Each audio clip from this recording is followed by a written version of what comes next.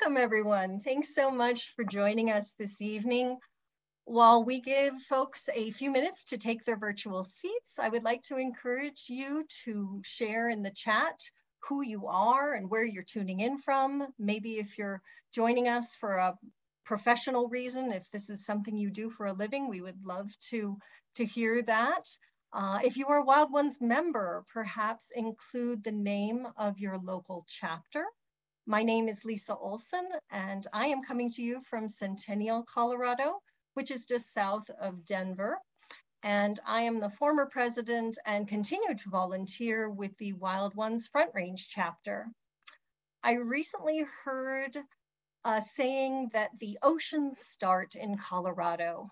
Colorado's peaks are the highest point of the Continental Divide, the nation's ridgeline, and our gardens and landscapes are the first line of defense in protecting vital watersheds.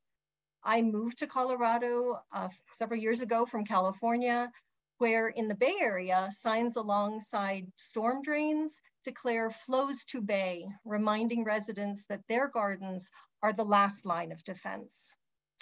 I am always pleased to see more and more native plants taking root in gardens along the Front Range, but I get a special thrill when I see permeable pavement and curb cuts and gutter gardens and living roofs and all the elements of green infrastructure that are designed to optimize native plants capacity to help clean up the impacts of urban and suburban development, transportation, industrial and conventional agriculture, and extractive industries like mining and logging. I am excited to learn more about phytoremediation, a word that combines plants, remedies, and mediation. In addition to getting more native plants in the ground, Wild Ones is working to cultivate a community of mindful land stewards. We need plants to help us heal lands wrought by trauma that we inflicted. I am excited and thrilled to see so many people interested in this important and yet often overlooked topic. And it looks like we are at or just past our official start time. So again, I wish a good evening to everyone and thank you for joining us. Uh, I am your host, Lisa Olson, and I am chapter liaison at Wild Ones Native Plants Natural Landscapers. On behalf of Wild Ones Executive Director Jane, Jen Ainsworth and the national staff, honorary directors, and the board of directors, we are excited to welcome you to tonight's online program, Native Plants, Phytoremediation, and Green Infrastructure, how native plants can be used to improve environmental quality. For those of you who are new to Wild Ones, we are a membership organization devoted to promoting native plants and sustainable landscaping. We currently have 76 chapters in 23 states. Our chapters provide regionally relevant expertise and resources to both new and tenured native plant enthusiasts. If there is not a chapter in your state, please think about starting one. Tonight's program features Eric Fuselier, who will be presenting on how native plants and phytoremediation can be used to improve soil, air, and water quality by removing or transforming common environmental contaminants found in urban, suburban, and rural settings. Tonight, you will learn how to pay attention to surrounding land uses and activities to know how to select species for your next native plant project that will benefit the environment beyond providing habitat for pollinators and other wildlife. Eric Fuselier is a, an environmental scientist at Olsson, where he conducts environmental impact studies and works with civil engineers and landscape architects to minimize the environmental impact from the infrastructure projects they design. Eric serves on Wild One's National Board of Directors and volunteers as chapter president of the Wild Ones Ozark chapter, which he founded just two short years ago in 2019. I have a couple of housekeeping announcements before we get started. Uh, again, thank you for tuning in live tonight, but this program will be recorded and posted on both our website and YouTube channel in a day or two. Eric's going to cover a lot of material with some lengthy terminology, so please don't stress over trying to jot it jot down all the terms and plant names as you will have full access to the recording to review the material. We have a series of questions that were submitted prior to this evening's event, and we will do our best to address as many of those questions as we can, both throughout the presentation and in the Q&A session that will follow. We have enabled closed captioning uh, to increase accessibility for the attendees, but you can turn off uh, this feature. You can turn off the transcript um, uh, in your settings if you choose to. And if you have trouble with your audio during the presentation, uh, please go to the test speaker and microphone setting by selecting the up arrow tab next to the mute button. During the presentation, we will be li uh, limiting the chat to messages to the hosts and panelists. Please use it to report any technical issues that you may be having. The chat will be turned back on at the close of Eric's presentation. So please direct any questions you have for Eric to the Q&A.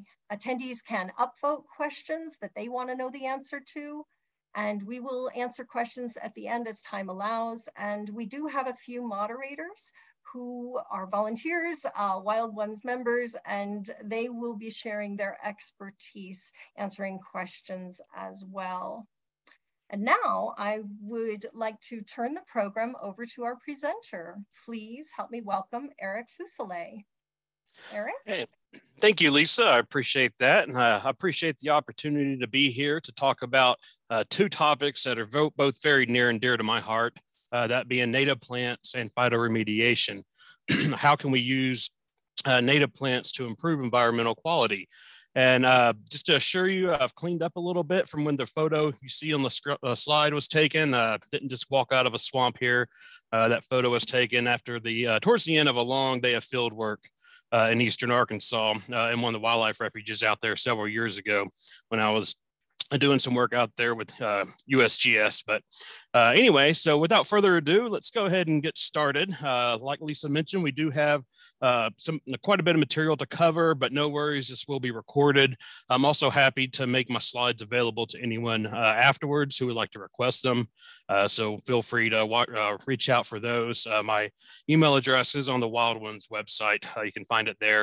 If you go to the board of directors um, and look at my profile, and you can reach out to me that way. All right, so native plants, phytoremediation, and green infrastructure. So let's see if I can make this work without screwing anything up. All right, have we advanced uh, slides here? Um, let me know if we haven't, but all right, uh, phytotechnology, and this is um, a much broader term than phytoremediation, but it's really kind of a starting point. Uh, I want to kind of start with some basics here and introduce some of these concepts. As native plant gardeners and landscapers, we often focus a lot on, um, you know, the benefits that the species we're selecting uh, can have for various pollinators, wildlife, you know, and, and th that's all great stuff. I, I, I do the same thing, uh, especially out on my own property. Um, but you know what I would like to really uh, introduce people to is we can be using plants for uh, all kinds of different uh, environmental uh, change or uh, improvement. Uh, we can use plants in place of a lot of other species that we've used in the past or other hard infrastructure that we've used in the past to solve certain engineering problems. So what is phytotechnology? You know, it's kind of funny to think of how plants could be technology. Well, technology is really, you know, how do we use things to achieve a certain end? Well, phytotechnology are plant-based methods of remediating or containing environmental contaminants in soil, sediment, groundwater, or surface water, or using plants to uh, solve a certain scientific or engineering problem. Now, uh, within the broader uh, category of phytotechnology, we have phytoremediation.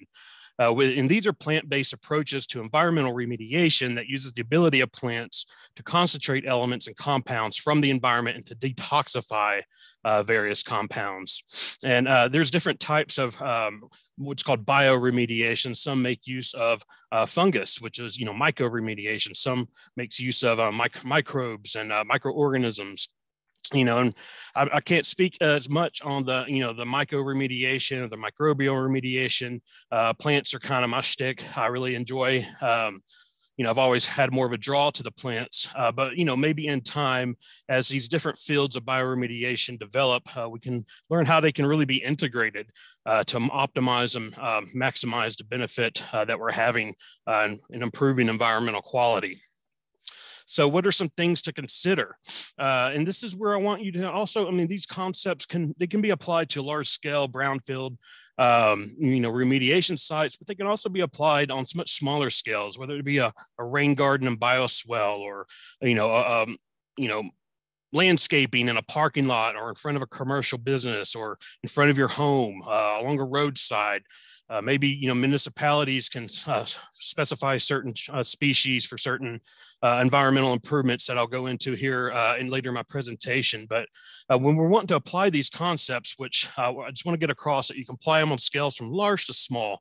and you know my hope is the more that we apply these concepts, even on small scales that cumulatively will have um, you know on a landscape scale if more, more and more people municipalities businesses are, are strategically placing plants uh, for their environmental uh, improvement uh, improving environmental quality of stormwater runoff soil uh, air air quality whatnot that you know on a larger landscape scale that we can have a greater impact uh, to improve things uh, beyond just ecologically but also the air we breathe the water we drink. So i want you to consider consider the surrounding land uses if you're going to plant a species anywhere on the landscape you know what's going on around that location uh, what's happening upstream. You can get on Google Earth and kind of follow a, a, stream or look at where you're at in your watershed.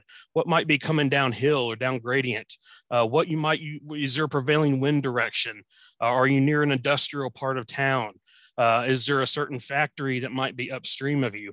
Um, is there, you know, uphill, is there something that uh, like a dry cleaner, uh, something like that? Is there a parking lot where you might have a runoff or is there, you know, maybe a golf course where uh, pesticides or fungicides, herbicides, whatnot might be being used or sprayed or maybe farm or agricultural activities. Uh, and so, you know, when we consider these surrounding land uses, we can um, you know, really start to think strategically about maybe including some species in our landscape designs or gardens or, um, you know, urban street trees, trees, whatever that may be, uh, that can help um, remediate some of the contaminants that might be originating from some of these land uses. Uh, we also want to select species that are going to be tolerant to those contaminants that will be migrating to the site. Another thing to consider is that these uh, concepts of phytoremediation are really best suited towards sites that have low to moderate levels of contamination, like kind of like what you would find in stormwater runoff. You know, we're not talking about the BP oil spill or anything like that. You know, that that you know really overloads plants. Uh, it makes it you know really inhibits their ability to grow. But when we're talking about low to moderate levels of contamination, um, you know, we, we can make use of uh, plants' ability, natural ability to break down a lot of the, uh, in, the organic contaminants and to even extract some of the inorganic contaminants. And I'll go into uh, that in more detail here in a little bit. But there are various uh, phytotechnological mechanisms that we can use uh, that plants provide and I have this uh, diagram here that I believe I pulled off of Wiki Commons. And um, it, you know, you can see here, uh, there's several different things listed and we're gonna kind of go through them one by one uh, as just a little bit of background on the different uh, uh, mechanisms that we can make use of. So let's start at the top of this diagram and work our way down. All right, so phytovolatilization. Well, what is phytovolatilization? Well, this refers to uh, excuse me, I have a little bit of a stuffy nose, so bear with me. Uh, this refers to the absorption of a contaminant by a plant from the soil through its roots, followed by the release of that contaminant or a modified form of that contaminant into the atmosphere uh, via transpiration through the plant's leaves. And the idea here is in the soil, that plant may be uh, at a concentration that is, is considered toxic, but as it works its way through the plant, the plant's uh, different uh, processes um, you know, might, you know, transform, break down, degrade that contaminant. And by the time it releases it, even if it's releasing it in the same form, uh, when it's in the atmosphere, it's at a much, it's much more diluted uh, and the risk is uh, much lower, or even negligible. Uh, so depending on the contaminant, uh, this could be a technique that we could use uh, to uh, improve soil quality by transferring uh, some contaminants into the atmosphere where they pose less or no risk. All right, so the things to consider if we're wanting to employ this technique are going to be the evapotranspiration rates of the plants that we use. We want to use species that are able to move uh, more water from the soil to the atmosphere. Um, you know, this is going to be better suited to capture those contaminants that are mobilized, whether that be in stormwater or groundwater. So in, in, in this has been employed uh, with, especially with groundwater contamination, where they'll use species that like phreatophytes that uh, really rely on groundwater supply for their source of water, and they uh, will plant them in large enough quantities, especially like you know, willows, poplar species, uh, plant them in large enough quality quantities that they can actually um, prevent those um, that uh, contaminants from migrating in those groundwater plumes, uh, suck them up into the plant, and slowly over time uh, release those into the atmosphere uh, where they are um, let, uh, lower negligible risk. All right, so what about phytodegradation? This is another uh, form or another phytotechnological mechanism.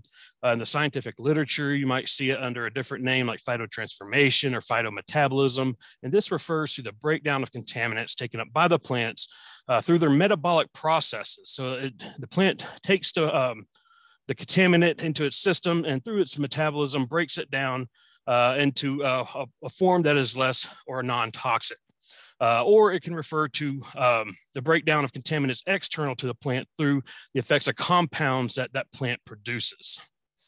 So this is where pollutants are degraded and either incorporated into the plant tissue or used as nutrients. So when we want to use phytodegradation, we want to make sure that we're selecting fast growing species. These are going to take up and store contaminants faster and in larger amounts than uh, a less, um, you know, more slowly growing species. So fast growing species with high biomass uh, is going to be key uh, when we're trying to employ phytodegradation.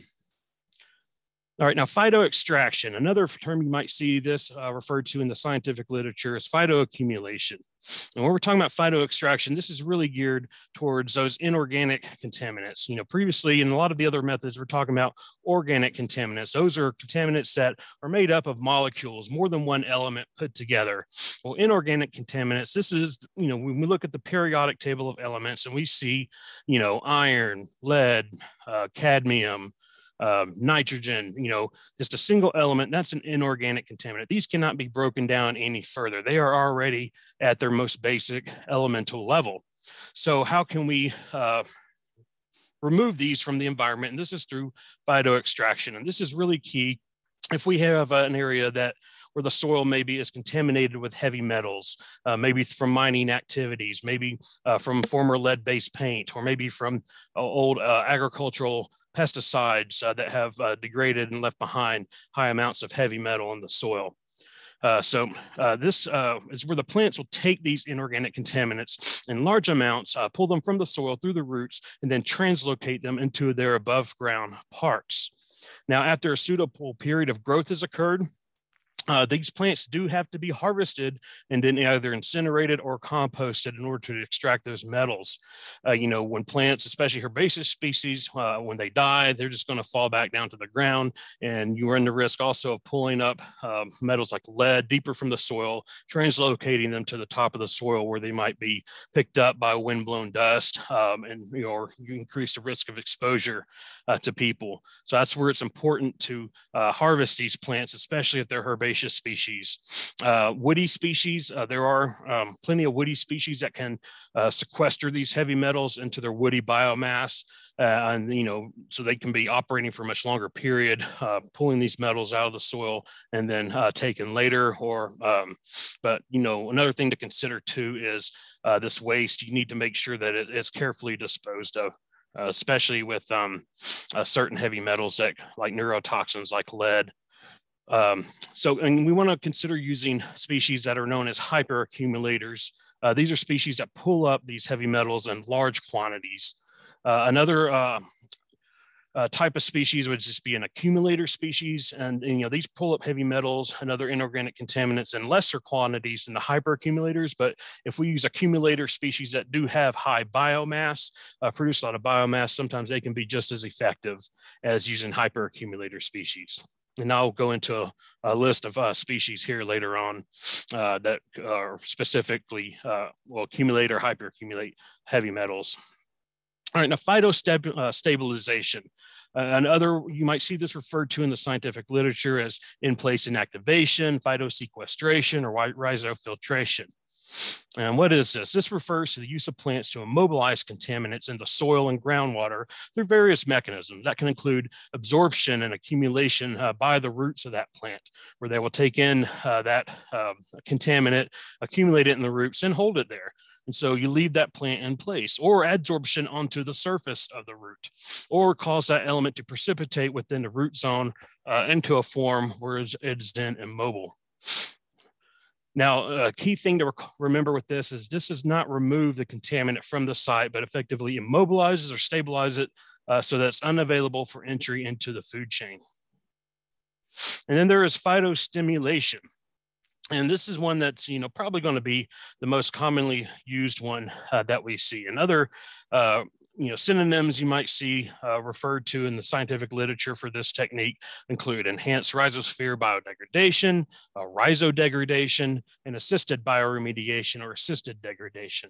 And the reason for that is uh, this refers to the breakdown of contaminants in the soil through microbial activity that is enhanced by the presence of the rhizosphere. Uh, the rhizosphere, uh, for anyone who doesn't know, that is the area around the roots where biological activity uh, is occurring having uh, where it is stimulated uh, by uh, exudates that that root is uh, putting out. So these natural exudates released by the plants include sugars, alcohols, or acids that contain organic carbon. This provides food for soil microorganisms and enhances their uh, biological activity. And so microorganisms like yeast, fungi, bacteria can utilize what to us would be harmful organic substances as their nutrient sources. And we see this commonly applied with uh, petroleum um, contained in runoff. So we'll um, you know go into some species here for that here in a little bit. But you know, you think about hydrocarbons, hydro or you know these are carbon-based uh, molecules, and these this is food for a lot of different species of microorganisms. Uh, so these be, uh, little microbial species can use these as nutrient sources and degrade them into harmless substances. Now, when we employ this technique, uh, we want to consider uh, the root structure and depth of the plant species that we're using.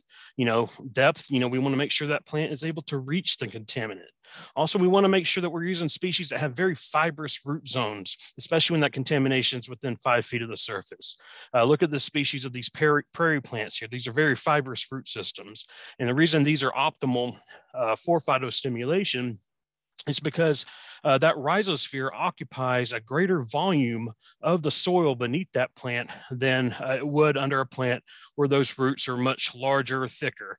You know, there's more surface area uh, associated with the roots and uh, of this of these more fibrous root systems. So uh, you're really optimizing or maximizing uh, the benefit and breaking down these contaminants. Um, you know, all plants have the ability to break down uh, organic contaminants uh, through this mechanism. It's just that some plants do it better than others. And the plants that have these more fibrous root systems are going to be much better at breaking down uh, petroleum and other organic contaminants uh, than are plants with thicker, larger root systems that uh, take up where the rhizosphere occupies less of the volume of the soil. The soil.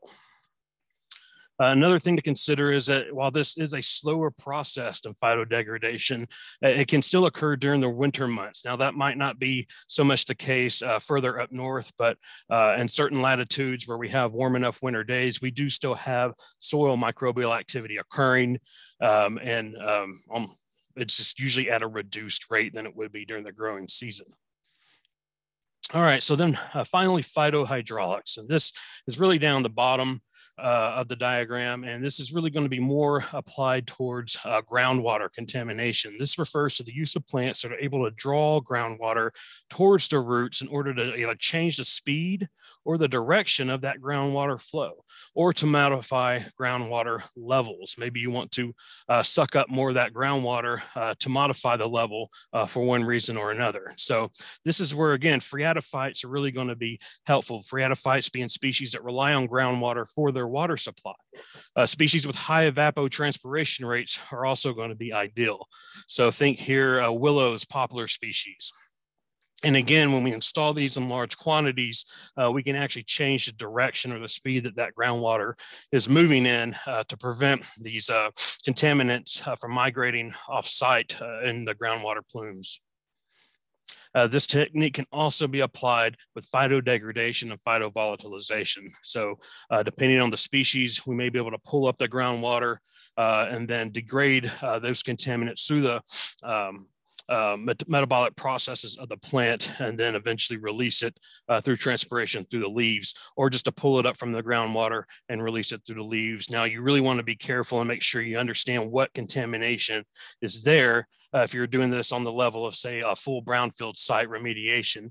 Uh, because you know you don't want to be releasing things into the atmosphere that might uh, be toxic in the atmosphere. But uh, with certain contaminants, uh, this is a, um, a, solution that we can make use of. So, what are the benefits of using native species in phytotechnology? I mean, we've, you know, phytotechnology doesn't, we don't have to use native species. Um, you know, or it's often, you know, people aren't always using native species for this, but really when we choose native species, and I assume many of you are here today uh, because you already understand the importance of using native species uh, in our landscaping, uh, but just to, um, you know, state it for anyways, you know, native species, they're already part of the web of life. They've been evolving in the region uh, which we find them. Uh, or which you know the region you know region which they're native to, uh, and they're part of the local ecology. Uh, they form the base of the food web. Uh, native species of birds, insects, and other wildlife have been co-evolving with these native plant species for millennia, and some species of wildlife have become completely dependent on certain native species of plants in order to complete their life cycles. You know, um, many of us are very familiar uh, with, uh, you know, examples, you know, whether it be bob white quail or monarch butterflies. But when we're using native species for phyto, uh, phytoremediation, we can not only be taking part in site remediation, but ecological restoration as well. Not only that, but you know, native species are already going to be adapted to the local climate and conditions of the region in which they're native to. As long as we're planting them uh, in the place where they're going to grow the happiest, you know, as long as you know we're taking, you know, taking into account their needs for sunlight versus shade versus moist soil versus well-drained soil, uh, other conditions, you know, as long as we're planting them uh, and how they're happy, they're going to do well. And it's going to be more economical to use these uh, than it would be uh, non-native species. And so what are some applications for native plants and phytotechnology? And this is where my hope is that native plant gardeners, landscapers, uh, designers, landscape architects, engineers, uh, over time will become just as knowledgeable about the native plant species that are useful for remediating specific contaminants as we are about the species that are beneficial for specific pollinators. So when we apply these additional functions of native plant species to the landscape in a thoughtful and strategic manner, we can work not only to improve the plight of pollinators, but to improve environmental and uh, quality and restore quality to the environment as a whole. All right, so just a, a brief list of ideas here, uh, various techniques that, uh, you know, where we might normally be including species. And we were, you know, if we're more thoughtful and strategic about certain native species, um, then, you know, we can maximize our uh, impact on improving environments such as, you know, stormwater filters, rain gardens, bioswales, detention ponds, uh, here uh, in the part of the country I'm in, anytime they develop a new residential subdivision, there's a detention pond that accepts stormwater from that subdivision. Oftentimes I see these detention ponds planted, you know, with Bermuda grass or, you know, some non-native grass. And I just think these could be so much more, you know, turn these things into giant, you know, rain gardens. So um, interception hedgerows, riparian buffers, uh, urban forestry, depending on the parts of the town, we can choose species that might be helpful uh, with remediating certain contaminants, say from the industrial part of town versus uh, the residential part of town, commercial and residential landscaping. All of these are opportunities to choose uh, be, uh, native species and to be strategic about the species to make sure that we're at least including some in there that are going to improve environmental quality in addition to providing habitat for wildlife. So what is green infrastructure? These are engineered systems such as rain gardens, bioswales, green roofs that mimic the functions of natural systems such as wetlands. Uh, these are often uh, um, associated with stormwater uh, control. It provides localized flood control, reduce the flow and intensity of creeks during storm events. You know, by slowing down stormwater, storing it, spreading it out, uh, this helps to um, uh, prevent uh, the intensity of creek flows downstream, uh, which you know often leads to erosion and loss of life, loss of property, all kinds of issues. Uh, green infrastructure helps improve water quality by filtering that stormwater, by using the soil's natural ability to break down these contaminants and the, uh, the roots and the plant's uh, natural ability to break down these contaminants. It increases uh, recharge of groundwater supplies. The more um, uh, stormwater that's able to infiltrate the soil, the more is able to get to aquifers and groundwater, and the less runs off um, across the surface of uh, whatever impervious surface it might be on uh, and into the nearest creek. So we have a way to filter it and purify it and clean it before it gets into a local aquatic ecosystem where certain contaminants that might be contained in that runoff, whether it be uh, pesticides or petroleum, might wreak, wreak havoc on those aquatic ecosystems. So these are the contaminants I'm going to be covering here today. Uh, we're going to start off with petroleum products, move through pesticides, chlorinated solvents, and talk a little bit about heavy metals, and then uh, go into how we can use plants to improve outdoor air pollution. So petroleum products, and I want you to look at this uh, background photo I have. We have a uh, stormwater drain accepting rainwater from a parking lot. And we all know that there are many, many uh, vehicles out there that, you know, drip. Uh, they, they're either leaky, they're old, whatnot. And if you ever visit a parking lot, you know, especially a parking lot that gets a lot of traffic, uh, you know, when it's empty, you'll notice that there are stains all over. And whenever we have a heavy rain, uh, some of the whatever material it is, often uh, a petroleum product of some kind or automobile fluid, is going to become dislodged from the pavement and carried off by that stormwater. So uh, where do these go? Well, these often go to the nearest storm drain and into the nearest creek. Uh, but what if we were able to filter them first before they went to the nearest creek? What if we can have it pass? Okay, I just heard that the recording stopped there for a little bit. Um, all right, so what if we're able to get this, uh, to, you know, to you know, clean and purify it before uh, we go into the, um, you know, the nearest aquatic ecosystem? All right, so what are some phytotechnological processes for petroleum products? And, you know, I want to distinguish between uh, some petroleum products are going to be much easier to degrade. You know, this includes gasoline, diesel fuel, uh, methyl tert-butyl ether, uh, the BTEX, you know, benzene, toluene, ethyl benzene, and xylene, other aliphatic hydrocarbons. And these easier to degrade petroleum um, compounds. Uh, you can use a, a, wider range of techniques uh, to address these from phytostimulation to phytodegradation or phytohydraulics and phytovolatilization.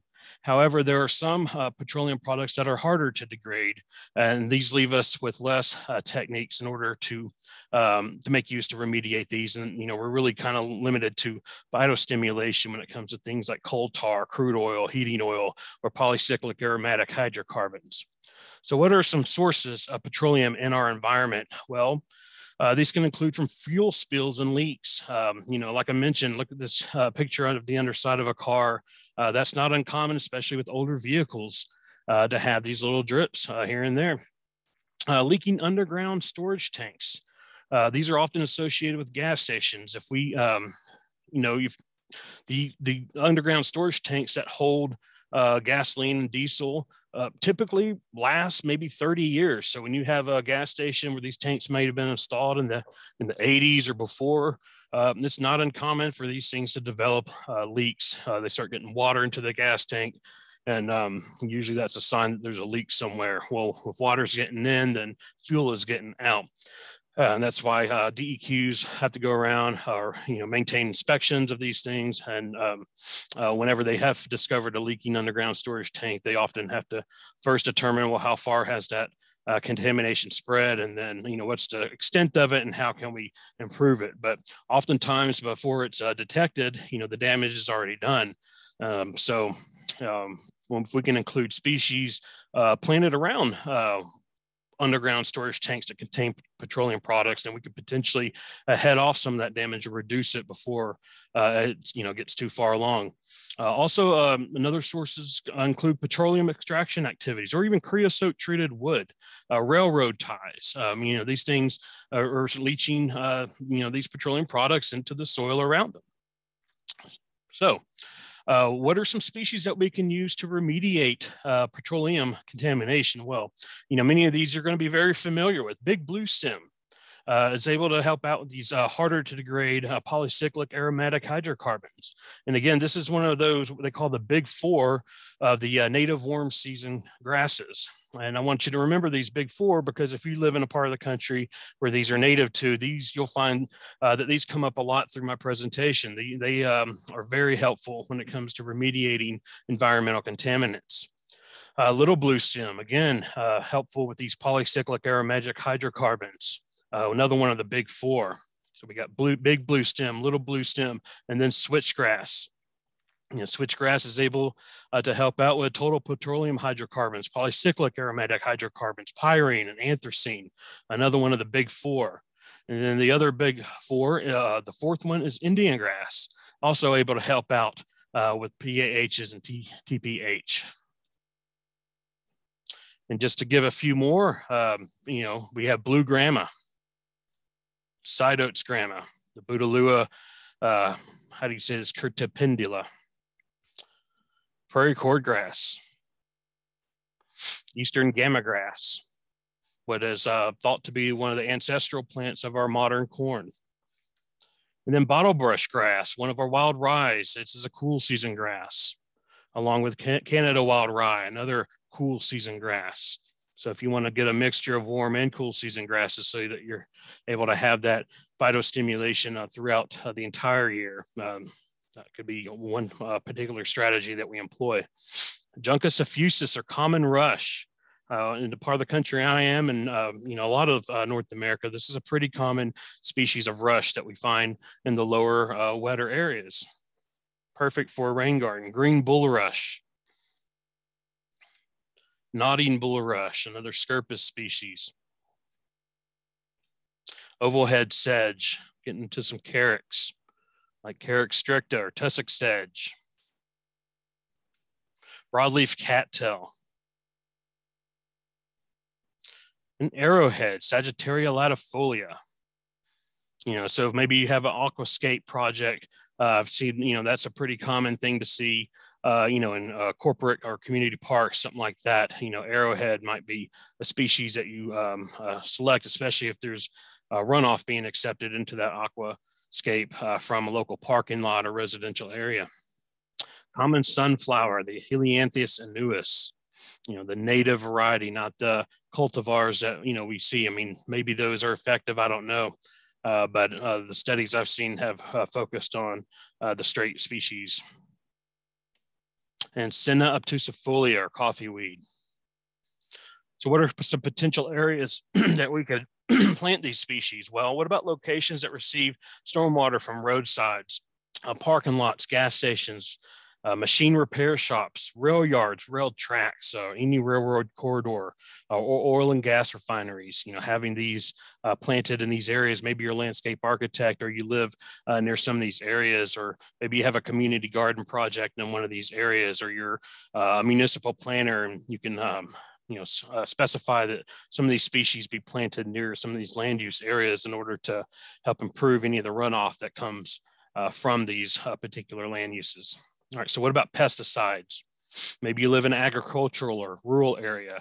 Um, so maybe you want to consider some species, um, or maybe you own a farm. Uh, we want to use these species in locations that receive stormwater uh, from uh, residential areas as well, orchards, rail corridors, utility corridors. So what about big blue stem? Like I mentioned, the big four is able to help with atrazine, which is a widely used herbicide uh, used primarily in agriculture. Uh, can be applied uh, both before and after planting to control um, broadleaf and grassy weeds. Uh, chlorpyrifos, um, this is an insecticide that's used primarily to control foliage and soil-borne soil, uh, insect pests. Pendimethalin is a selective herbicide uh, that's used to control broadleaf weeds and grassy weed species in a number of crops and non-crop areas, as well as residential lawns and on ornamentals. And then uh, propiconazole is a fungicide uh, primarily used agriculturally or on turf grasses that are grown for seed and aesthetic and athletic value, as well as wheat, uh, mushrooms, corn, peanuts, uh, almonds, and a variety of other uh, fruits and nuts and other edible agricultural products. So uh, big blue stem uh, maybe as, um, you know, planted you know, around these areas where these types of agricultural activities are happening. Again, that's that big four. I want you to remember big blue stem. It's uh, a very important one uh, when it comes to improving environmental quality. Switchgrass, like I mentioned, uh, atrazine and pendimethalin earlier, uh, this one's able to help with both of these as well. Another one of those big four. And then another one of our big four is Indian grass, also able to help with atrazine and pendimethalin. Eastern gamagrass, again, able to help with the chloropyrifos, uh, chlorpyrifos uh, and then pendimethalin and uh, some of these others. Broadleaf cattail, again, with the atrazine commonly used um, in residential areas. Uh, black willow is able to help remediate uh, bentazone, which is an herbicide used to control annual weeds. Uh, it's highly soluble in water, volatile, and um, very mobile, and uh, produces a, a, risk to um, of leaching into groundwater. So, uh, these black willow species, uh, which is a phreatophyte, is able to suck up some of that um, from that groundwater and help remediate that. river birch is able to help with bentazone, which is a selective herbicide that's used on lawns and turf uh, as well as agriculturally in rice, corns, uh, peanuts, beans, peas, and other um, agricultural products. And we have Eastern cottonwood. Uh, it's able to help remediate alachlor. Uh, this is an herbicide used for weed control on corn, soybeans, sorghum, peanuts, and beans, as well as uh, dioxane, which is another herbicide. And then uh, metolachlor, which is an herbicide used in agriculture for grass and broadleaf weeds uh, to control these within corn, soybean, uh, sorghum fields, uh, as well as cotton and peanuts. So um, these cottonwoods, um, you know, would be very beneficial to have these uh, near these fields that are um, um, maybe making use of some of these pesticides. Uh, red mulberry, helpful in remediating anthracene. Right, so what about chlorinated solvents? Well, what are chlorinated solvents? These are used in all kinds of different uh, activities from, you know, cleaners, degreasers, uh, rocket propellants, fire retardants, and refrigerants. Uh, these are, you know, um, like an example would be trichloroethylene. This is a solvent that's often used in the dry cleaning process, as well as rubber production and for degreasing metal parts during the manufacturing process. So uh, American sweet gum has uh, shown the ability to help remediate trichloroethylene. So, as well as Eastern cottonwood, which is also in addition to trichloroethylene, uh, research has shown its ability to help remediate perchloroethylene, which is a, the most common solvent used for dry cleaning in the US.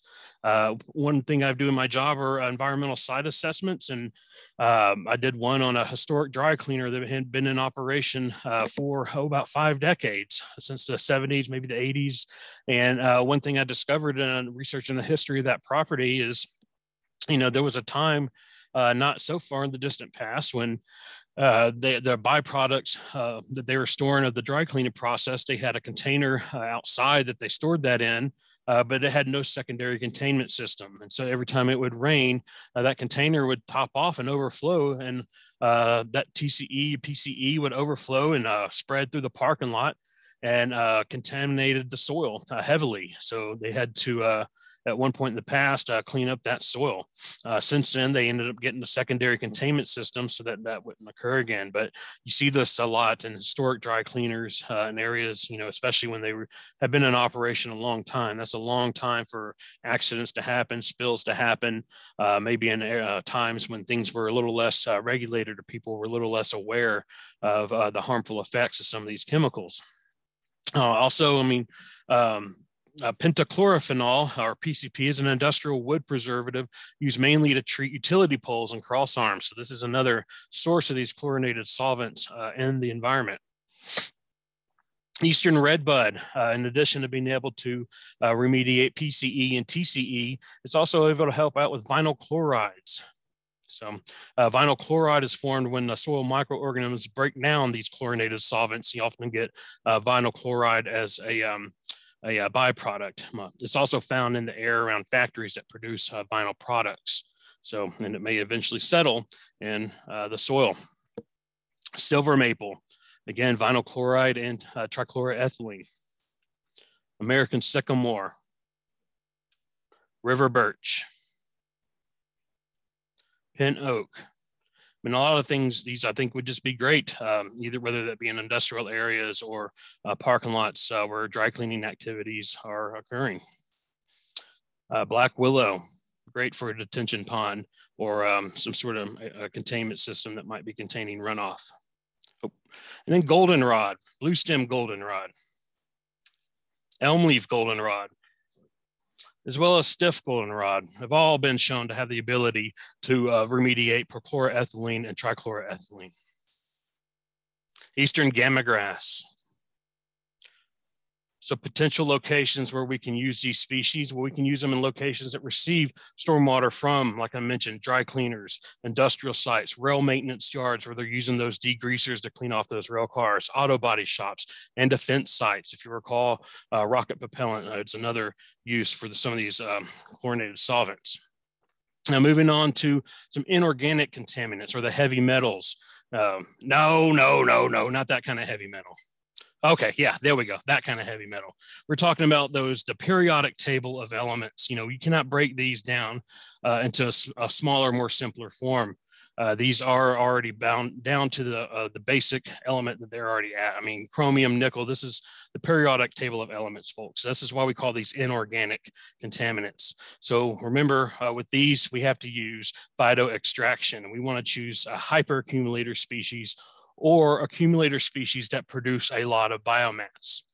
Uh, but remember, the key there is, uh, especially if they're herbaceous species, uh, each year they need to be harvested and removed from the site in order for those heavy metals uh, to be removed from that site. Otherwise, they're just being brought down and uh, put back onto the top of the soil. Um, or, you know, if we choose woody species, uh, these heavy metals can be sequestered into the woody biomass, and that's a, a better, more long-term uh, storage solution potentially. Uh, so what about chromium? Sources of chromium in the environment include dyes, paints, leather tanning, uh, the automotive industry, and pressure treated lumber. Uh, well, pale smartweed or Persicaria lapathifolia has been shown to be a hyperaccumulator of chromium uh, duckweed species, the Lemna species, uh, can accumulate uh, chromium. And, you know, if anybody has seen a pond uh, where duckweed has taken over, you know that this does produce quite a bit of biomass. Uh, it's just a matter of having to harvest that duckweed out of that pond uh, each year. American water lily, accumulator of chromium. And Canadian horseweed, not a very particularly uh, beautiful plant, uh, but when it comes to heavy metals, uh, you'll find uh, through this section of my presentation that this is one of the rock stars of the heavy metal remediation world, as I like to refer to this one.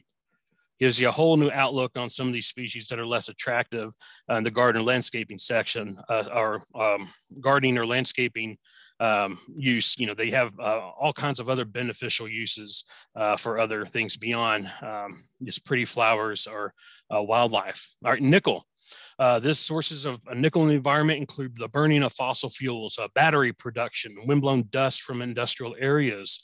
Uh, they've also, there's a new emerging um, field of study called phytomining, and they've had a lot of success with uh, phytomining of nickel from nickel contaminated soils. I have not been able to find research yet on native species that they've used, but I believe it's a lot of the brassica uh, species. They've had a lot of success with pulling nickel out of the soil and then uh, processing these plants and reclaiming that nickel. So if this, you know, if phytomining became, uh, if we became more uh, effective at that, um, we were able to invest more in studying how can we use um, this technique to not only improve soil, um, you know, of, you know, remove these heavy metals metals, but also uh, reuse some of these heavy metals instead of having to dig them from deep down in the earth.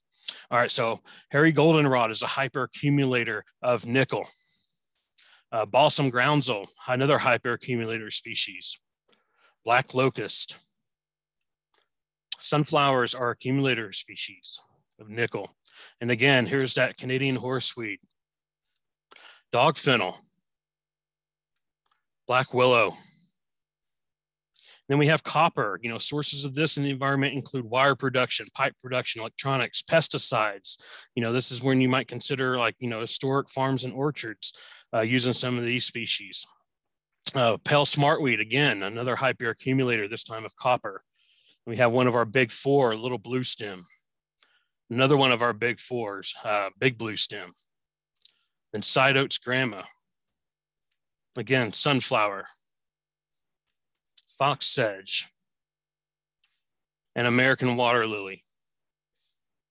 Pondweed. Again, duckweed. This one, uh, Lemna minor, has been shown uh, to be able to accumulate copper in large quantities. Uh, false indigo bush and black willow. All right, zinc. Uh, sources of zinc include smelting operations, mining activities, uh, metal roofing and paneling, and tire debris. Think about uh, roads and highways and interstates that have high traffic volumes. You know, your tires over time, a little bit gets shaved off at a time. That's why we have to replace our tires on our vehicles. Where where does all that tire dust go?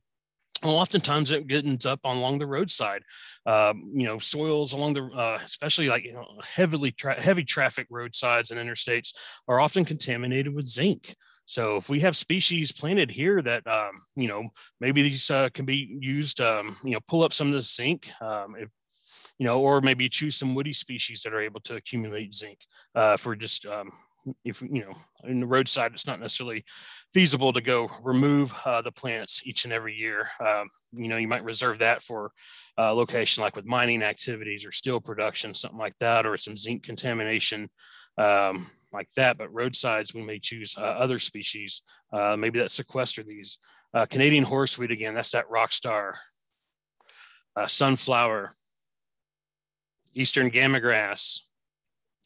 And then here's black willow all right, what about cadmium? Uh, sources of cadmium include our fertilizer, sewage sludge, uh, nickel cadmium batteries, uh, stabilizers and plastics, smelting operations, switchgrass, hyperaccumulator of cadmium, sunflower is an accumulator, Jerusalem artichoke, and common yarrow, dog fennel, Canadian horseweed, and rattlebush, Sesbania drummondii. Again, fox sedge. I'm getting into some woody species, deciduous holly and American holly, black willow, sandbar willow, all right, and finally, lead. Uh, well, what are some sources of lead in our environment? Well, before 1978, lead-based paints were uh, commonly used. Uh, before 1986, lead-based pipe or lead pipes and plumbing fixtures, and before 96, we had leaded gasoline. So think about roadsides uh, you know, long roads that have been around uh, since, you know, for a while before the, the you know, the 90, 96 ban on lead uh, based gasoline. And so, um, you know, runoff from these roadsides uh, contain uh, little pieces and drips here and there of uh, lead, lead gasoline. And, um, you know, that lead uh, often contaminates these roadside ditches. Current sources include industrial facilities, batteries, and ammunition. You know, you hear about lead shot. Uh, you know, it's commonly used by people that hunt waterfowl, and that shot just goes into the bottom of, of some of our wetlands, and the waterfowl uh, get lead contamination. Well, switchgrass is a hyperaccumulator of lead. Pale smartweed. And to give you a whole new appreciation for annual ragweed, uh, this is a hyperaccumulator of lead. Now, one thing about lead is uh, to make it mobile, sometimes you have to use a chelator, uh, which uh, combines with the lead uh, and facilitate its um, uptake by plants. Uh, the risk with that, though, is you could also make it mobile and it could leach out into groundwater. So be very careful when it comes uh, to any sort of lead contaminated. If you have lead in high, a large enough quantity that you don't want that to, to be migrating too much off site. All right, so what about outdoor air pollution? let's start off talking about particulate matter and you know sources of particulates in our air come from industrial activities automobile emissions oil and gas refineries and coal burning power plants uh, you know, these particulates can also carry heavy metals that are combined to them. Uh, they attach these uh, particulates, and you know, including lead. Uh, they've done studies on uh, traffic cops back in the days of lead, uh, leaded gasoline. Traffic cops are getting, especially in uh, you know dense urban areas like New York City, we're getting a lot of exposure uh, to lead just from breathing automobile exhaust. Uh, also, these particulates can settle onto leaf surfaces, and some will be absorbed by the plant. So, how can we make use of plants in order to remove particulates from our atmosphere? Well, one thing, the ultrafine particles, or those that are two and a half microns or smaller, um, or, you know, these are the ones that are even worse uh, for air quality. You, you, know, you have basically two classes uh, that they divide particulates into those that are uh, two and a half microns or smaller, and those that are uh, larger than that. Uh, so these ultrafine particles are able to lodge themselves more deeply into our lung tissue. Uh, they pose more of a risk. Not to say that the larger particulates aren't also a risk. It's just oftentimes we're able to expel some of those larger particulates much easier than we can these ultrafine particles. We breathe enough of these and uh, you know we, we, can't get them out of our lungs uh, so conifers or you know i should really specify these needle leaved trees because uh, not all uh, um, you know, not, you know, anyway, needle leaf trees are going to be more effective uh, than broadleaf trees. Uh, instead of deciduous, not all uh, deciduous trees are, of course, you know, broadleaved, or uh, but uh, broadleaves are, aren't going to be as good as conifers for those ultrafine particles. But if we do choose uh, broadleaf trees, uh, we can we should choose species that have waxy leaf coatings uh, or you know fuzzy, hairy leaves and have a greater leaf area index. So just give some recommendations for species that fit one or more of these criteria. shortleaf pine in my part of the country, this is our, our most common native pine. Uh, south of where I am, uh, southern United States, you have the loblolly pine. Eastern United States, the Virginia pine. And then up, you know, north, uh, northern US, uh, the white pine. You know, American holly, uh, a great example plant with these waxy leaves, as well as a southern magnolia, uh, a yellow poplar, or tulip poplar a black tupelo. And some of our oak species do have waxy leaves like our northern red oak, post oak, cherry bark oak, black cherry trees. Common nine bark, uh, it's a little bit smaller of a, a, shrub, similar to one of our viburnums, rusty blackhaw. It's very waxy leaves. So where can we consider these species? Well, what about along urban roadways and interstates, uh, interstates that have these high traffic volumes where particulates are going to be uh, coming out of the automobile exhaust. When you know, if we have these types of trees, um, you know, uh, if we think about this when we plant um, trees in these areas, then um, you know we can help improve air quality by capturing some of these particulates and uh, preventing them from uh, migrating too far from uh, that um, um, that roadway. Uh, studies have shown that um, believe it's oh I can't remember how many feet away from this roadway these continue to have a beneficial impact. So just because you're maybe not right along the edge of a roadway, but maybe you know you're still close enough to it, um, you might still consider planting some of the, those trees, uh, you know the, the needle leaf trees or waxy broadleaf trees. Also enter near industrial districts, uh, near oil refineries and coal burning power plants. All right, so what about nitrogen dioxide? Sources of this in our atmosphere include burning fossil fuels, automobile emissions, power plants. And when this uh, gets uh, um, too concentrated in our atmosphere, it's, it is bad for our lung tissue. Uh, it is known to damage tissue.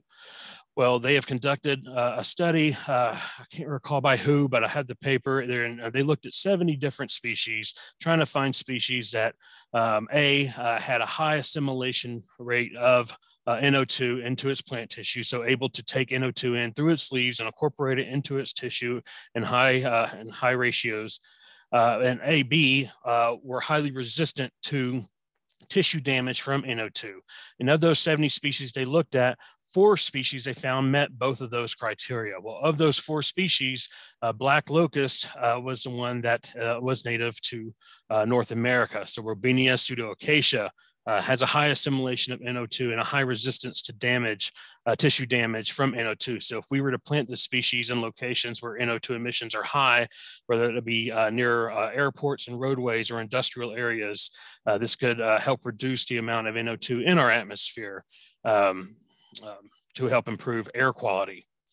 All right, so what about carbon dioxide? That's probably, you know, one of the more the serious things in our atmosphere we need to think about and consider um, removing from our atmosphere. Well, and this is where carbon sequestration is going to be uh, important. So, what do we need to do for carbon sequestration? Well, trees are going to be uh, a great option when it comes to, uh, choosing plants. We're going to need fast growing trees. These are going to be able to store the most carbon during their first decades. Also, long lived trees. We don't want trees that are going to be short lived and die because when they decompose, they release that carbon right back into the atmosphere. So, something that's able to sequester that carbon for a long period would be ideal. And also, trees with large leaves and wide crowns. Uh, this helps maximize photosynthesis. Photosynthesis being that activity where they're pulling carbon dioxide uh, from uh, the atmosphere through their leaves, uh, combining it with water, uh, a little bit of sunlight to, as a catalyst, uh, and a byproduct of that, of course, is oxygen. But that carbon is sequestered into their biomass. So bald cypress, um, you know, probably one of the better ones. Its average lifespan is 600 years, uh, maximum lifespan typically about 1800 years. So very long lived, and these can, things can grow very large. White ash has an average lifespan of 260 years. Black tupelo, average lifespan of 250 years. Yellow poplar, also 250 years, very long lived trees white pine. All you know, these are all considered fast growing or moderately uh, fast growing species. Shortleaf pine, white oak, chestnut oak, northern red oak, and live oak. But here's the thing, um, you know, when they look at you know soil versus um, plants they found that our flora uh, or our soils really i don't want to say that our flora are overvalued because uh, i really do believe that our flora flora are still undervalued but i think our soils are very much undervalued. Uh, so i wanted to uh, show this uh, diagram that was put out by the World Climate Council, uh, showing that how much carbon can be sequestered in the soils versus the above ground biomass of different ecosystems. And you really see here wetlands, boreal forests, and temperate grasslands uh, being able to sequester the most. So while native plants are helpful in sequestering carbon, the soil beneath these native plants can play an even greater role in helping fight climate change. So this is why we really need to focus on our efforts, uh, not just on planting native species, but on conserving and restoring living landscapes wherever possible. Uh, ultimately, we need, more, we need more than just an oak tree planted here or a milkweed planted there. While we plant these, while planting these species is important and beneficial, uh, when we can restore the native landscape, you know, the ecological context within that these uh, native species once existed within, um, that's when we can optimize a soil's ability to sequester carbon after the plants that have removed it from the atmosphere have completed their life cycles. You know, these wetland areas, the reason they're able to sequester so much carbon is because they stay wet. And so there's uh, these what's called anoxic conditions in these soils. There's not a lot of oxygen. And because of that, the bacteria that live there are what are known as anaerobic bacteria. They like these low oxygen or anoxic conditions. Well, anaerobic bacteria are much less efficient at breaking things down than aerobic bacteria. Uh, so decomposition happens very, very slowly in these wetland soils. And so that means that typically you get a buildup of carbon because as plants grow and sequester carbon from the atmosphere, uh, and then they die and fall down, they're decomposing at a much slower rate uh, than uh, carbons being added to it. So uh, you get up, end up with a buildup of carbon over time. That's why uh, when you know the early settlers, European settlers, moved in to large, uh, you know, the Ohio Valley or the Mississippi River Valley, and they would. Uh, you know, drain a lot of the wetlands because they were so rich in carbon, um, and they would use these agriculturally. Well, we've lost so much, many of our wetlands, um, you know, and that, you know, has you know reduced our capacity to um, uh, fight climate change. You know, same with temperate grasslands. You know, these long, deep, fibrous root systems. You know, when these plants die, uh, those roots decompose and add to the soil carbon. You know, and as more plants grow, uh, they're helping uh, sequester uh, that carbon uh, into the soil. So this is where I want to also consider natural infrastructure, not just green infrastructure, but natural infrastructure. This is an approach that makes use of naturally occurring landscape features, uh, naturalized areas that are managed to provide benefits to both the environment and society. This can include forests, floodplains, wetland protection, watershed restoration, wetland restoration, and conservation easements. Uh, natural infrastructure such as healthy wetlands, grasslands, and forests can provide many of the same benefits of traditional human-made infrastructure, uh, but at a much lower overall investment and maintenance cost. So when we have these areas, instead of replacing a wetland or a prairie, how can we make use of this and incorporate this into um, our design um, or you know our environment? You know, how can we make use of this, uh, preserve it, and even manage it in a way that is optimizing, uh, you know, its ability to provide these free services, not just ecologically, but to society as well. I mean, unlike traditional human-made structures, well-designed and maintained natural infrastructure will not depreciate or you know fall apart over time, uh, like an artificial system would. You know that it's going to need repairs. In fact, these may actually increase in value over time as they become more um, as you know valuable to society. Uh, so natural infrastructure also provides other benefits beyond uh, to society, of course. I mean, it's wildlife habitats, carbon sequestration, water filtration, groundwater storage, floodwater attenuation. You know, if we have a wetland, it's a great opportunity to turn it into a park or a, you know a, a public um, you know public asset. Wetlands, grasslands, these are all community assets. And if we can really start to see them as such and learn how we can use these living landscapes um, instead of replacing them, then I feel like we can uh, have a much greater impact on not only improving um, ecological quality, but environmental quality as well. So with that, uh, that's the end of my presentation. And I hope that, you know, as gardeners and landscapers, you know, that you know, we tend to uh, continue to learn more and more about uh, the native plants that are able to target specific contaminants and how we can uh, be strategic in selecting these, uh, not, you know, or to broaden our perspective beyond pollinators. You know, that's, you know, pollinators, that's a very important thing to consider, but I'd like to, to see more of a broader perspective and how can we use these um, in other ways as well. Thank you. Thank you, Eric. This has been amazing, fabulous, a dizzying array. You obviously paid attention in chemistry class. and so um, we appreciate your expertise and sharing what you know and introducing us to this really important topic. We are going to hang on for just a few minutes longer to address some of the um, uh, really challenging and, and important questions that have been raised. I'm going to start with one that was raised um, prior to the program, but has been brought up a number of times in the Q&A today.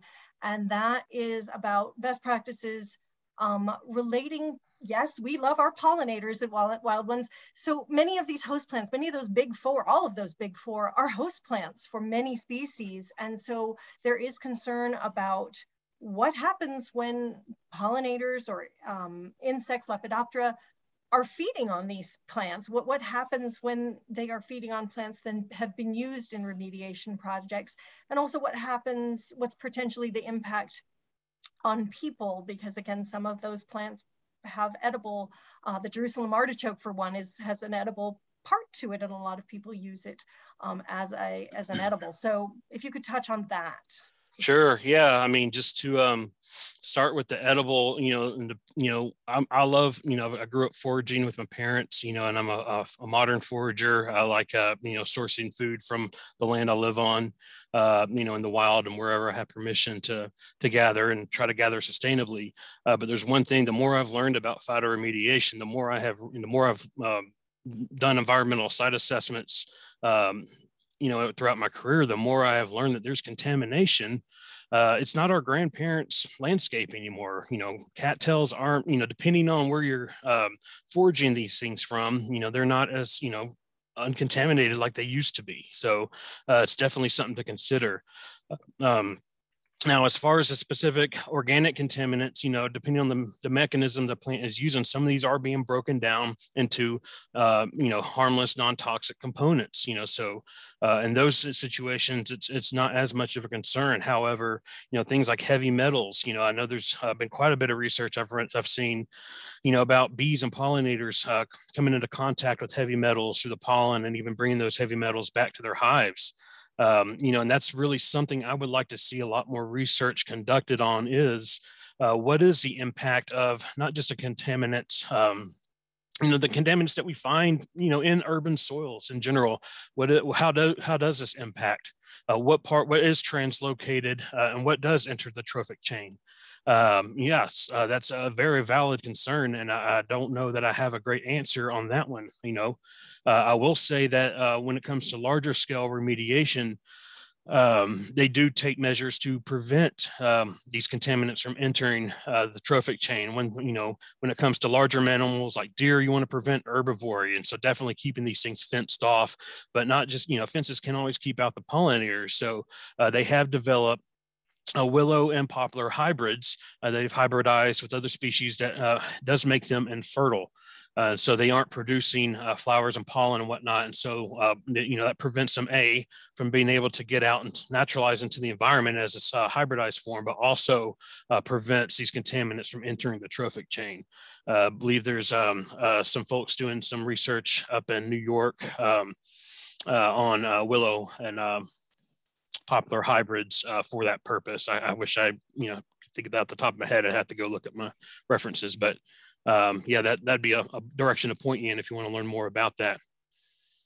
Well, thank you for elaborating on that. And mm-hmm. um, I, surprisingly, this wasn't raised. This wasn't a question that I thought many people would ask, and, and few did. But I think it's really, really important because you mentioned site assessment. I mean, how do you know what the contamination is? Right. Um, and so, if you know, someone asked, how can average homeowners um, or owners of modest properties identify contamination in the first place. So if you could touch on, on what testing methods you need to do to start this process. Right. Uh, well, uh, you might reach out to a local environmental testing lab. Uh, those are we typically contract uh, them out to test. Like if we have discovered contamination at a site, you know, and we have to go on to what's called a phase two environmental site assessment to determine what's the extent and level of contamination. You know, uh, there's certain ways of testing to um, soil, groundwater, all that. They take the samples back to the lab and uh, determine um, what sort of contamination is there. And I mean, you could uh, pay for that. Um, you know, a lot of times, uh, you know, like I don't know if this is common in every state, but the state I live in, every homeowner is entitled to one free soil test a year with the county extension. But that really just looks at nutrients, pH, and things that you would need to know to grow a garden. That's not going to look at contaminants. That's where you really need. Uh, if you Google environmental testing lab in your area, uh, you might see that several uh, pop up, um, especially in areas you know that are more urban, because there is a need for that uh, for um, just sort of you know anytime there's a property transaction and there's a loan, uh, a lot of times banks will require a phase one environmental site assessment to occur, so that way the bank knows what sort of liability they might be taking on if the loan was defaulted on. So.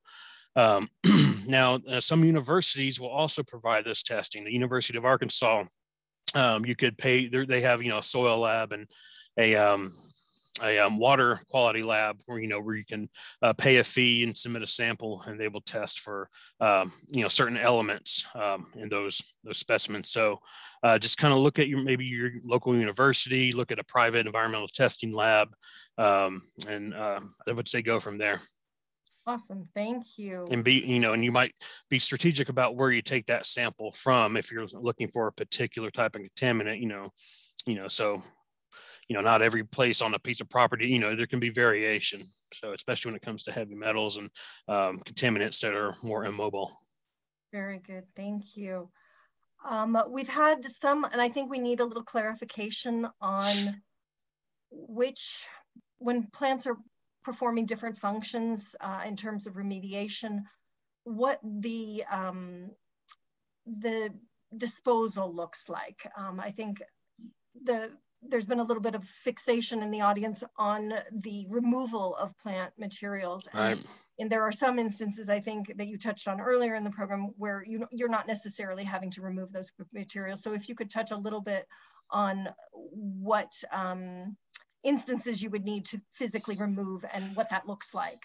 Yeah, well, I mean, there's going to be uh, the herbaceous species at the end of the growing season. These, you know, the above ground portion dies and decomposes, and it's going to put whatever elements it has translocated into those above ground portions back to the top of the soil, and that's a concern. So that's where, uh, when you have a site where you're trying to remediate it for, say, um, you know, heavy metals, you're going to have to remove uh, at least above ground portion, um, and then make sure that you're you know, sometimes it might be incinerating it in a safe type of, you know, enclosure where you're able to capture things uh, volatile. You know, some metals like lead can become volatile. You don't want those getting out.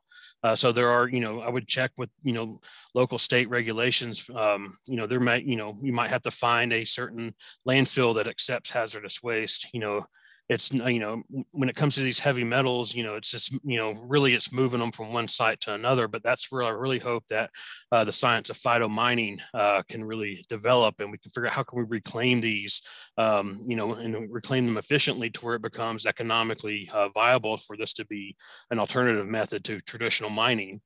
So um, you know, and then when it comes to woody species, you know, these are sequestered into that woody biomass, which isn't, you know, going to, you know, decompose at the end of the year but you know a lot of trees and uh, shrubs and whatnot do have a point where they you know you know have plateaued out on the amount of woody biomass. So if there's still that contamination in the soil uh, or if there's a concern about uh, some of the you know uh, contaminant being uh, getting into the trophic chain from herbivory, uh, then those might have to be removed and disposed of in the same way as the herbaceous species. They just probably wouldn't need to be uh, removed as often or annually like you would uh, the herbaceous species.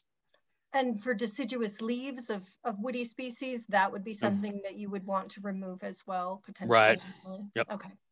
Yep. Um, and then uh, we had one couple questions come in about um, obstacles to actually implementing these types of projects, both mm-hmm. um, in private, the private sector and in um, the, the, public municipal municipalities. Can you talk a little bit uh, because people talk in Wild Ones a lot about barriers to native landscaping, mm-hmm. and this seems like it might be even taking it a step further. So if you could touch on that a little. Yeah, well, honestly, I feel like with this, uh, one of our largest barriers, even within the native plant community, has just been our awareness and education of uh, being able to do this. So as uh, an environmental professional that you know works on uh, low impact development projects uh, with uh, you know the different firms that I've worked for over my career, um, you know they would usually hire have me select the native species uh, for rain gardens, bioswales, uh, detention ponds, and so I would just you know really just have always enjoyed geeking out over the stuff in my spare time. So I've developed like a you know a trove of research papers and articles and books on the topic, and maintain my own list and database of um, various species and what they're good for. So I've always just tried to select species for rain garden design projects. You know, switchgrass it's a great example for rain garden. Mix it in there. Make sure you're including some switchgrass uh, with you know your pollinator species as well, because that's going to help uh, break down some contaminants. Um, that's just one that you see. You know, you saw it pop up throughout my presentation you know so i mean let's just you know learn more about it and if you already are developing or designing uh, a native landscape um, you know think about i just want to encourage people to think about surrounding land uses or what might what contaminants might be entering that site and what species could they mix in there uh, to help um, remediate that contaminant. Now, outside of that, as far as getting natives into the landscape, I mean, uh, I think that you know it's the same barriers we we have in you know in any case, and you know I think a lot of that there's the you know public education. You need that public buy-in. You know, most people think native plants. Well, you know, isn't that poison ivy? You know, you know that's one comment I got. I spoke to a local Rotary club, and uh, that's what somebody asked. I was like, well, yeah, but you know, it's not just poison ivy. you know, so. um you know, it's just educating people and showing people that, you know, there are all kinds of beautiful native options for wildflowers that we can use uh, instead of some of these non native, you know, and it's also just a sense of local pride in your local landscape, you know you know, uh, you know, I'm here from the mid South, you know, and you know, I love the flora that we have here, and so I want to see more of it. Uh, and I, am fortunate enough to live in the part of Arkansas where native plant landscaping has really taken off here, uh, and um, the part of Arkansas I live in. There's a lot of uh, municipal projects um, and commercial landscaping that are making more and more use of these uh, native plants, and so um, you know, I think it starts in these uh, hubs across the country and then it eventually spreads. I mean, I would say a place like, you know, Arkansas is going to be, you know, not one of the first it's going to try something new and fringe, but hey, if we're using it here in Arkansas, then we're not too far off from,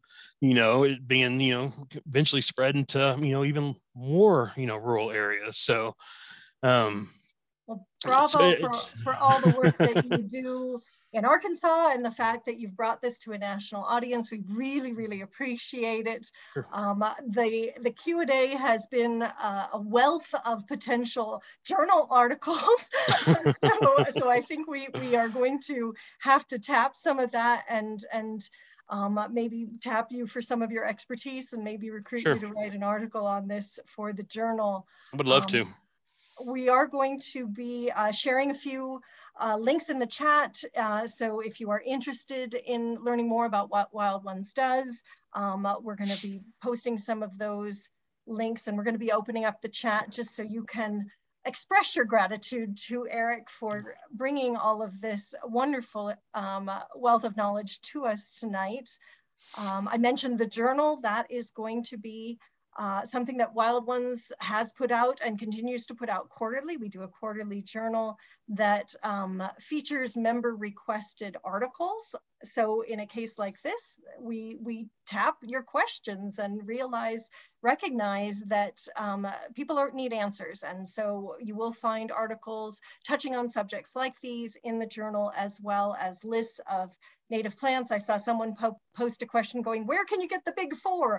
Well, thankfully, mm-hmm. those are actually four species you can get. um, they are common, yeah. Some of the, the, the harder to find species. The big four are available, readily available in the seed trade. So look for seed, you will find it.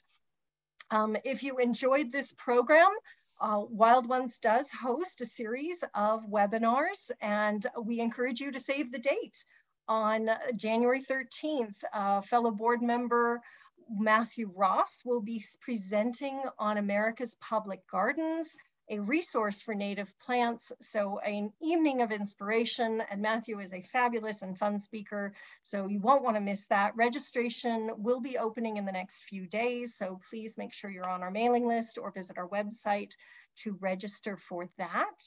Um, I do encourage you to stay in touch with Wild Ones through social media. Um, I know that uh, many of our chapters have media channels and our national channel, um, national, national um, organization also um, puts out a lot of information that uh, you'll wanna stay in touch with. And also we have to date over 6,000 members over 70, uh, we're at 76 chapters in 23 states. And if um, you are interested in joining us, please visit our website and become a member. If you can't find a chapter in your area, please consider starting one.